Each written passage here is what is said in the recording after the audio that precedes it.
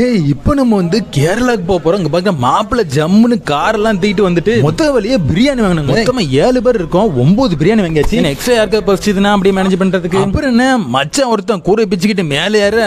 ஓட்டு ஓட்டுன்னு ஃபுல்லா உள்ள அலப்புறதான். தென்காசி டு கேரளா. சொல்லவா வேணும். பச்சை பசேர்னு அதுல ரீசனா மழை வர பெஞ்சிட்டு இருக்கா. ஆக்கிற இடம்னா கண்குள்ளா காட்சி தான் போய்கிட்டு இருக்கும்போது திடீர்னு வண்டி நிப்பாட்டி ஏன்னா பிரியாணி வாங்கணும் தண்ணி வாங்கல இல்லையா? ஒரு பெரிய வாட்டர் பாட்டில் வாங்கி பின்னால தூக்கி போட்டு அந்த கேப்ல லெஃப்ட் சைடுல திரும்பி பார்த்தா அழகா குட்டிக்கிட்டு போறங்களா அந்த மரத்துல ஏறி தாவி குதிச்சு விளையாண்டுட்டு இருக்கீங்க அது அப்படியே பார்த்து முடிச்சுட்டு இன்னும் தாங்க கொஞ்சம் ஜாக்கிரதையா போகணும். ஏன்னா ஃபுல்லா மலை மலை தான் டிராவல் போக போக கொஞ்சம் கொஞ்சமா மேல ஏறிக்கிட்டே இருக்கு பாருங்க காரெல்லாம் வளைஞ்சு இழிஞ்சு போக்குறதுக்கு பாக்குறதுக்கு சீன் செம்மையாவும் இருக்கும். பயங்கரமாவும் இருக்கும். அப்படியே நேரா போய் சேச்சி கடையில ஸ்டாப் பண்ணிட்டோங்க. ஆகா என்ன சீனு மலையாடி வரத்துல டீ கடை. போயிட்டு நம்ம கேரளா ஃபேமஸ் ஆளுக்கு ஒரு பழமுடியை தூக்கிட்டு டீ ஆர்டர் பண்ண பதிலா வித்தியாசமா நாரக்கியா வெல்லம் சேட்டா டப்பால இருந்து ஒரு பொடியள்ளி தட்டி அப்புறமா ஏதோ ஒன்று ஊற வச்சிருந்தாரு. அதுல இருந்து ஒரு ஸ்பூன் எடுத்து அதுல ஊத்தி ஒவ்வொரு லெமனை புழிஞ்சி சோடா ஊத்தி மிக்ஸ் பண்ணி கொடுத்தாரு பாருங்க. ஆகா, இந்த சீனை பாருங்க மலையடி வரத்துல பேக்ரவுண்ட் ஃபுல்லா கிரீனரி முன்னாடி ஒரு பெரிய கிளாஸ் ஃபுல்லா ஜூஸ் குடிச்சு பார்க்க செம்ம கான்சென்ட்ரேட்டடா நல்ல திக்கா ஒரு ஃபீல் இருக்கு பாத்தீங்களா? அந்த மாதிரி இருந்துச்சு. அந்த வியூவை பார்த்து ரசிச்சுக்கிட்டு கொஞ்சம் கொஞ்சமா குடிச்சு முடிச்சு ஆ, எல்லாரும் வண்டியில இறங்கலேன்னு சொல்லிட்டு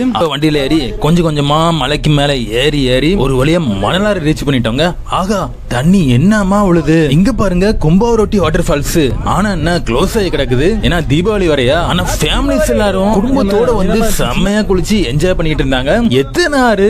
பத்து அடிக்கு ஒரு ஆறும் அருவியுமா ஓடிக்கிட்டு இருக்குங்க. அடுத்து திடீர்னு பார்த்தா ஊட்டியில உள்ள தேயிலை தோட்டம் மாதிரி நல்ல பறந்து விரிஞ்சு பச்சை பசேர்னு ஏரியா. ஒரு வழி எல்லாத்தையும் கிராஸ் ஆகி கிராஸ் ஆகி அச்சங்கோயில் வந்து ரீச் ஆயிட்டோங்க. அப்புறம் என்ன காரை பார்க் பண்ணிட்டு பிரியாணி தூக்கிட்டு போய் உள்ள போய் ஒரு முரட்டு குழியில போட வேண்டியதுதான். அது ஒரு வழியா நம்ம கேரளா அச்சங்கோயில் ரீச் பண்ணக்கு அப்புறமா வாங்கின பிரியாணி பொட்டலத்தை தூக்கி போட்டு குளிக்கிற இடத்த நோக்கி நடைய போட ஆரம்பிச்சிட்டாங்க. பாருங்களேன் கேரளால தெருக்களை விட இந்த முக்கு சந்து தாங்க அதிகமா இருக்கும். ஆக ஒவ்வொரு வீட்லயும் கிணறு வச்சிருக்காங்க. அப்படி போயின்னு இருக்கும்போது திடீர்னு ரெண்டு பாட்டி இப்ப சாப்பிட்டுட்டு குப்பையெல்லாம் போட்டுறாதீங்க. வெளியில இருந்து போடுங்கன்னு சொன்னாங்க. சரிங்கன்னு சொல்லிட்டு அப்படியே கொஞ்சம் கொஞ்சமா கிராஸ் ஆகி ஒரு வழியா குளிக்கிற ஏரியாக்கு வந்தாச்சுங்க. ஆக என்ன ஆறு? இந்த ஆறு மட்டும் அவ்வளவு அகலமா இருந்துச்சுங்க. சுத்தி நல்லா பறந்து விசாலமான ஏரியா கரெக்டா ஒரு மணிக்கு ரீச் ஆனாங்க.